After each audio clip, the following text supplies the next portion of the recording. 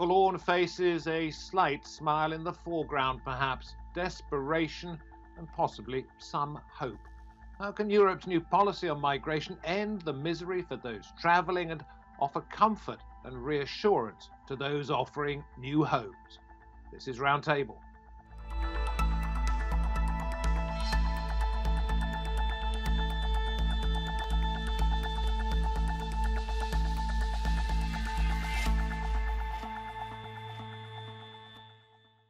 10,000 euros if you accept an adult, but those countries that don't want migrants can effectively pay not to have them. Will EU states be able to weigh up both the financial and the moral costs?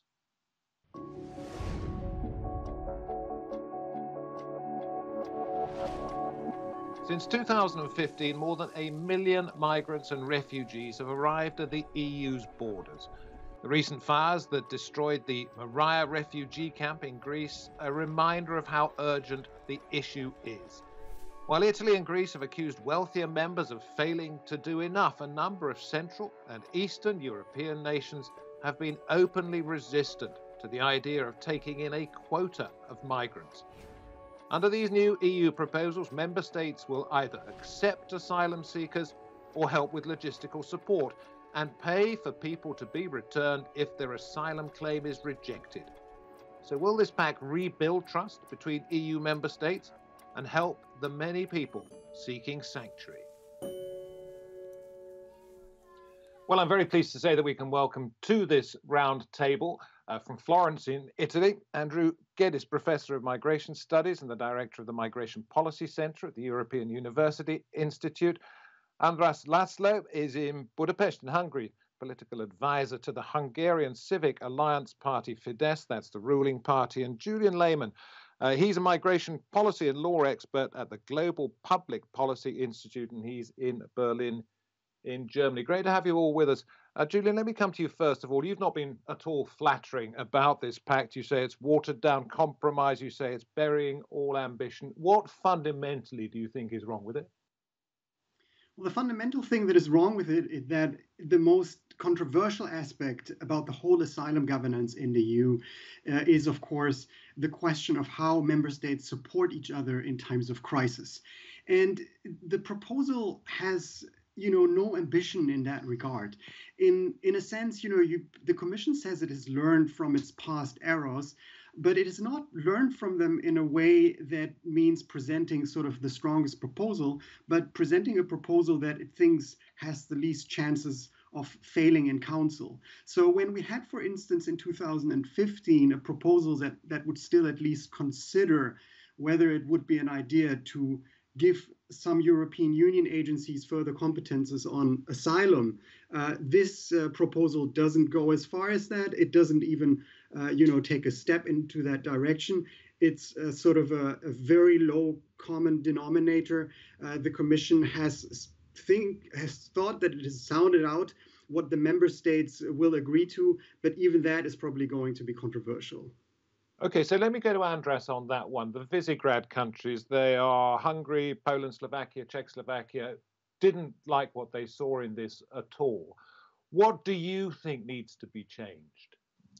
Well, it's very interesting what Julian just said. Uh, our position is that actually uh, there are still a lot of um, rules which refer to quote, a quota system, which would mean relocation among member states of asylum seekers and illegal migrants. And the main objection of several countries, including the Visegrad countries, has been specifically this point in previous plans. What we see now is that the Commission did, in fact, uh, soften the tone and change the quota system, but a quota still remains a quota.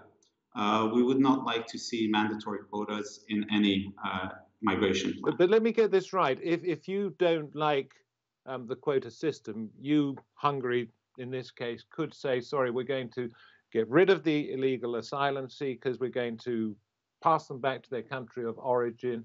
Uh, you would have to foot the bill, but you wouldn't have to have them.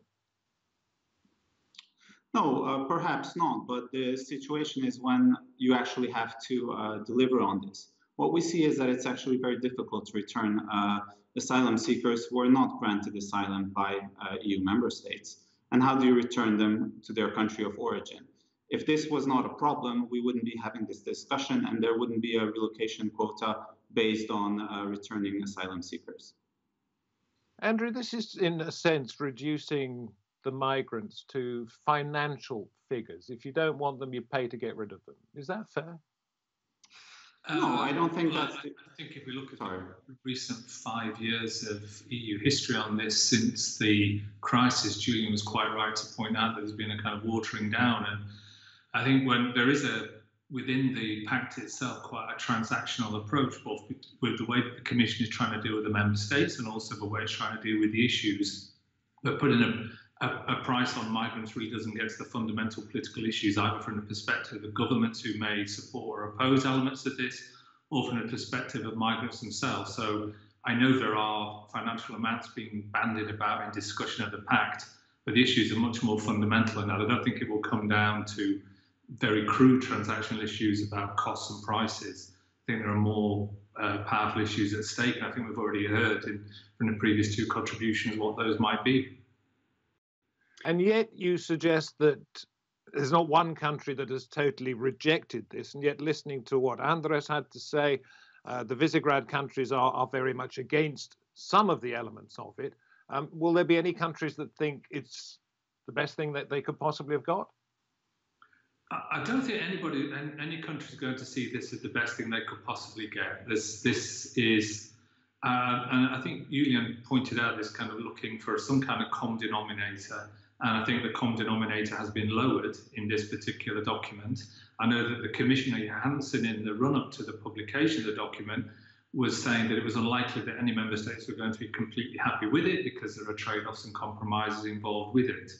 Um, I think one of the things now that's going to be very important is what happens over the next year, the next two years, as the negotiations begin between the member states, the EU institutions, and of course the Parliament.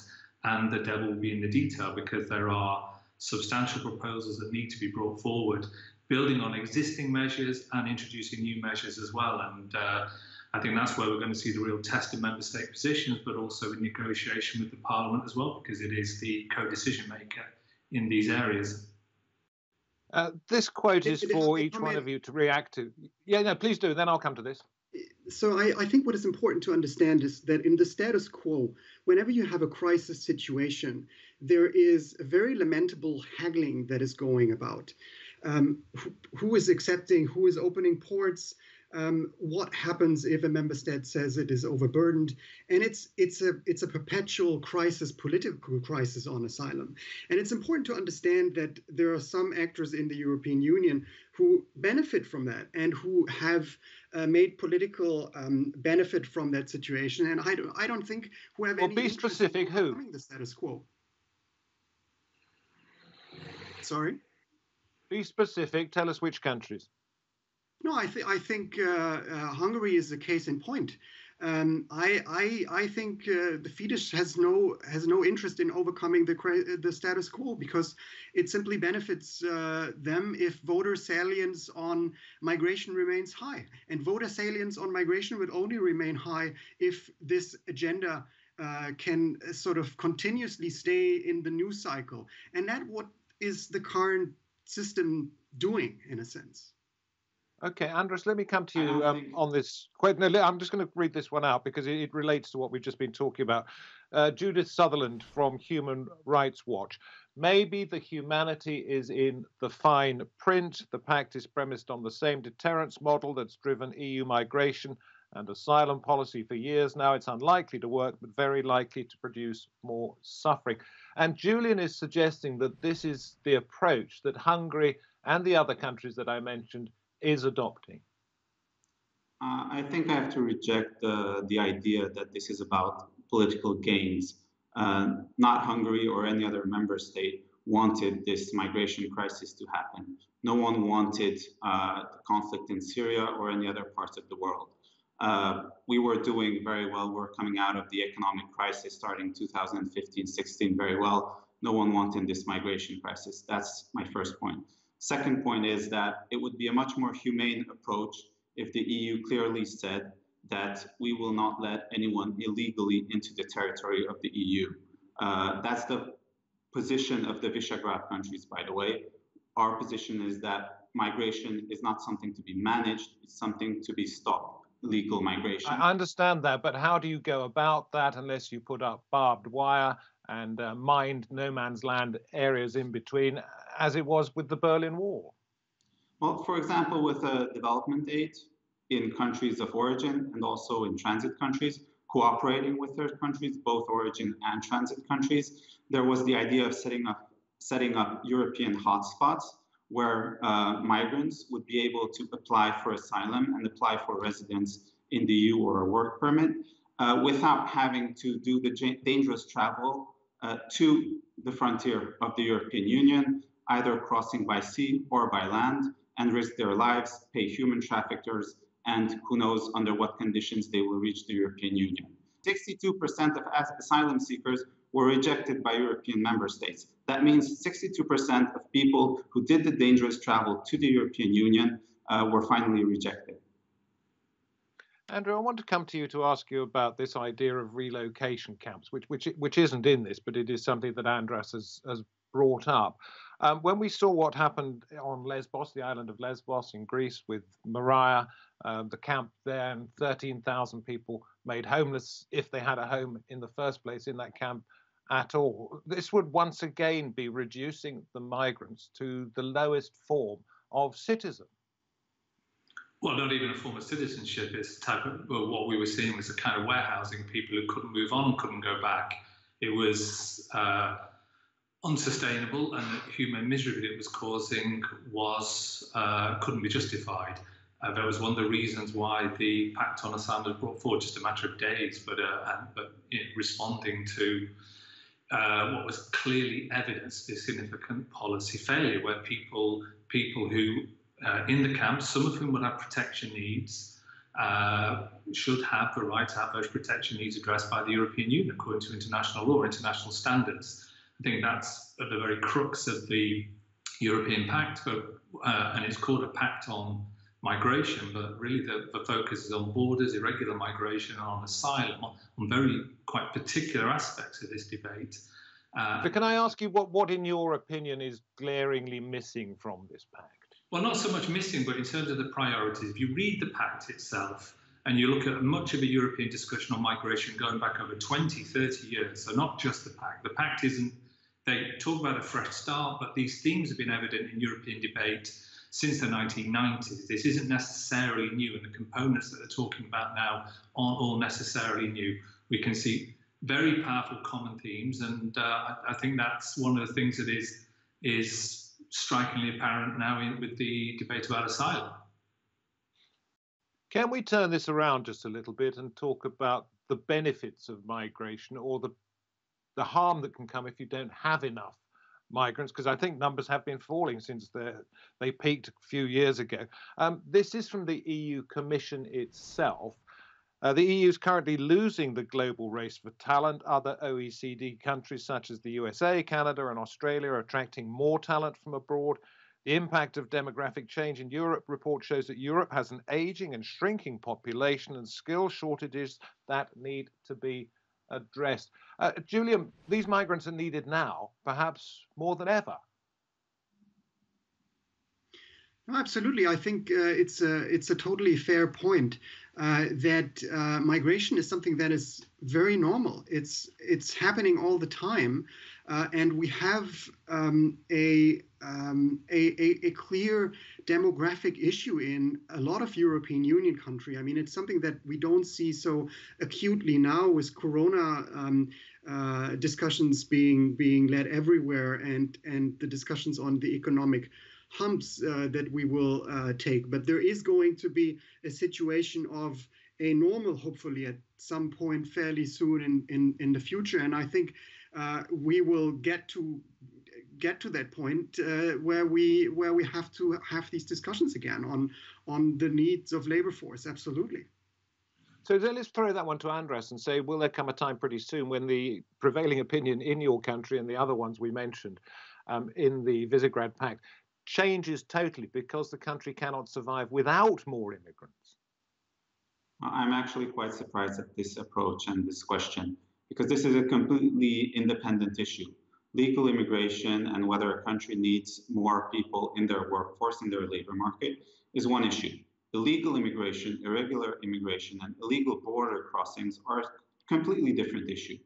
If in two, after the 2008 economic crisis, we've talked about high youth unemployment in Europe and how there would be a lost generation. Now with the coronavirus, these ideas also came back. Are we losing the second generation of youth in the European Union? I don't see how uh, we should be caring uh, for immigrants and even if they're skilled and entering legally, uh, and why not care about the talents here in Europe when youth unemployment is still very high? because we have an aging population in, in Europe and we're not replacing it? Well, there are other means. Hungary, 10 years ago, when the Fidesz government took office, uh, we put forward very strong family policy measures in order to increase childbirth rates. Uh, we saw in many surveys and many research that Hungarians want more children than they finally actually have when they come to that part in their life. Uh, and it seems that uh, our measures are working we have increased marriages, uh, we have less divorces, and we have more children, so higher fertility uh, than we had 10 years ago. The, the difference, I think, is plus 20% now. So obviously, policy can affect also childbearing. Okay, Andrew, let me come to you. I, I think you have said in the past that it's not migration as such, it's irregular migration that is the problem. Can you expand on that? Well, I think it's two sides of the same coin. So I, I, don't think the debates on regular and irregular migration can easily be separated. Just to provide an example of that from the country I currently live in, in Italy, they, there is there's been quite a strong reliance on irregular migrant labour in some very important sectors of the Italian economy, uh, from provision of food to provision of care for elderly people. So migrants employed both regularly and irregularly become an important component of the Italian labour force. Uh, it raises issues which aren't just about external border control, but also about the way that the economy, the society, the welfare state functions. This has been also an issue in other EU member states too. So what I was trying to say was that the, the European Pact on Migration is, is very focused on issues around irregularity and, border crossing. Uh, but I think that regular and irregular migration are actually quite closely linked. I would also say that the channels or pathways for regular migration into the EU have become progressively narrower. Uh, and that is an issue that is addressed, addressed in the European Pact, more towards the end of it, but talking about ways in which pathways for uh, regular migration could be expanded. But I think here one of the key issues is that the number of migrants that are to be admitted is not an EU competence. That's a matter for the member states. And so there are clear constraints on what the EU can do in the area of, of uh, regular migration, of legal migration. Mm. But I, I, I, think there are quite important links between irregular and regular migration, and, and, and Italy, I think, demonstrates that. Can we go back to what the EU Commission said about uh, the race for global talent? Uh, unless the system is working perfectly, Andrew, we are going to fall behind those other countries mentioned in this, the, the US, Canada, Australia, etc., etc. Well, I, I, I, I, think we've heard this phrase quite a lot, a race for global talent, and I think there is uh, there is an argument for high skill migration. And, and if you look at what the kind of public attitudes to migration, we shouldn't just imagine it's a simple binary of for and against. I think the, the public are perfectly able to make distinctions between different kinds of migrants higher skilled, lower skilled, student migrants, family migrants, migrants needing protection. I think people do understand there are different kinds of migration. But I would say that clearly there are arguments for higher skilled migration to sustain support the European economy. But at the same time, I think there are also arguments for migration to lower skilled employment in sectors such as social care and agriculture. But that does, and I think a point was made earlier, does raise issues about labour markets, how they work, and, and inclusivity in those labour markets for employment of to ensure social inclusion and and, and uh, as that employment is on, on, a fair and equitable basis. Uh, and that can be an issue where irregular migrants are employed in sectors where they're open to abuse, uh, but also uh, perhaps also undercutting uh, through their irregularity, wages and conditions in their sectors, which raises important questions about the regulation labour market. So, you know, a global race perhaps is one way of thinking about it, but I think issues are more multifaceted than that. Julian, let me come to you and say, and this is also for Andras as well, but if I could ask Julian first to respond. Um, 2023 is the date at which many of these changes suggested in the pact are likely to be implemented if they are. What other changes do you think might happen in the intervening three years? I, I want to first second um, Andrew uh, and take up the point that uh, the, the pact currently focuses quite a bit on questions of border. Now, I do agree on border management. Now, I do agree that you should not only perceive migration through the lens of irregular migration, uh, but also look at, at the regular forms of migration and labor migration. But I also want to make the, the point here that the EU has been neglecting for years the internal dimension of its asylum system. All the reforms have been on hold, and it's just in the in the political interest of the EU to finally move ahead so as to avoid a perpetual uh, political crisis on questions of asylum. And if we don't do that, to take up your question, uh, what could happen until 2023, I think uh, chances are that uh, in case we get to a new crisis in our neighborhood, in case uh, things go badly in Libya, say, um, it, it, will just uh, continue and, and it will just re- 2015 will repeat itself, and I don't think that anyone has an interest in that. And, and let, let me ask you this one before I go to Andras. Um, you've suggested that countries such as Hungary could deliberately run down their asylum system and be rewarded. And Andras, you'll have a chance to respond to this. We've got to understand the incentive structure of the current system.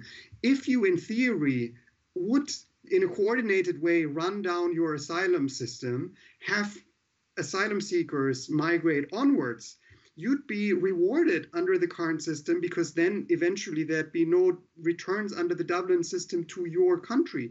And this is this is a, a flaw by design, and it, it links to that uh, deterrence logic, and it's something that that that uh, simply we should uh, do away with.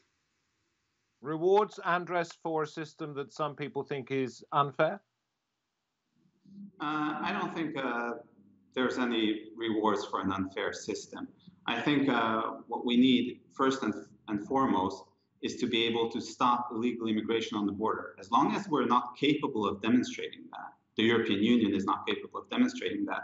The entire debate on legal migration, asylum seekers, and how many numbers should be, you know, the responsibility of which member state are completely pointless. Because if you can't control the external borders, then the influx will be uncontrolled. You won't know, and won't you won't know, and you won't be able to plan uh, either for countries of how many you need in the labor market, what skills you need. It doesn't matter because the people who are going to be coming in is completely random.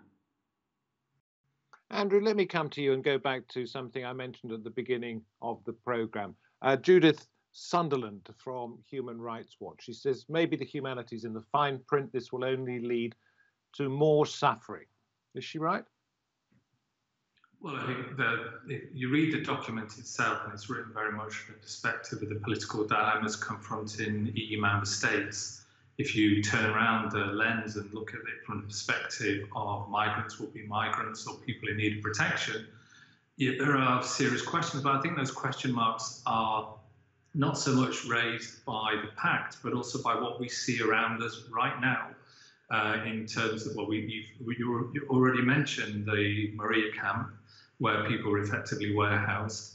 There are terrible conditions for people in countries such as Libya, where the breakdown of the political system has led to terrible human rights abuses for migrants, including people in need of protection. So I, I think that that, that you know, certainly it is essential that the ongoing debate about uh, EU migration and asylum policy has a strong rights-based component, and, and a lot of voices from those who are advocates for rights are arguing it's not strong enough, uh, and all they can, and they can point to incidents over the last four or hmm. five years which they, they think reinforce that that claim. Will will the argument ever be about ending suffering, as uh, Judith Sunderland suggests, or will it continue to be about uh, politicization and financial concerns? Well, I think what this debate is about, in a certain sense, is, and the Commission has said this, it's written in the document, is trying to normalise the debate about migration because there has been a high level of politicisation across the EU. The issue has been quite salient in member states, and it's also been a very divisive issue. I think what the Commission is trying to do now, and is talking about doing this, is move into some kind of post crisis mode of dealing with these issues and trying in a way to normalise them uh, to, uh, maybe to, to and, and I suppose essentially also give the Commission a footing in these debates because one of the consequences of the 2015 inflows and the political crisis. Is I'm going to have to stop you, Andrew. I'm terribly sorry. sorry. We are completely out of time. There's so much more to be said, but I appreciate very much the contributions from each one of you. Gentlemen, thank you, and thank you wherever you happen to be watching this edition of Roundtable. Until next time, goodbye.